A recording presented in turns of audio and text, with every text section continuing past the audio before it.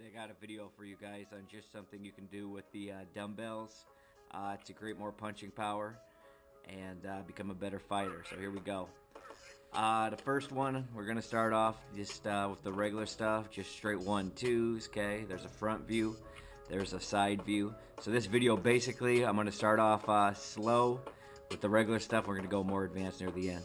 All right, so there's one, twos. You guys see how I'm squared up? I'm really not in stance because I don't need, I'm not trying to create any more muscular imbalances that we already get from boxing, okay? Uh, the next thing we got is, um, you know, like uppercuts. They're not really uppercuts. I'm just kind of coming up in that direction. Hooks, just kind of loosen it up. Loosen up my uh, body for the next exercises, okay?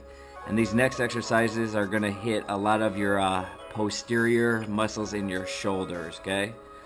Uh, so here's the first one, alternate, uh, alternate uh, dumbbell presses, okay? As you see, I'm squared up in stance. There's front circles, okay? And then after this, I'm going to go to rear circles. And uh, I got this, these next exercises, I don't necessarily know the name, but I watched Triple G workout, and uh, he does this. So definitely uh, give this a try, because Triple G's a beast. He's going to beat Canelo's ass. So, uh, anyways, here's another here's another exercise. The front raises, okay. And when I'm doing these exercises, guys, I'm just really I'm thinking what muscles I'm strengthening. You know what I mean? I'm in my body. I'm not thinking about anything else. I'm not on my phone. I'm really not even listening to music. I'm just kind of focusing on the muscle, uh, focusing on the movement, and just getting stronger and getting better. Okay? Because um, I'm telling you, anything works as long as you're working. Okay? So these are, you know, you see these shoulder movements, guys. Definitely uh, give these a try.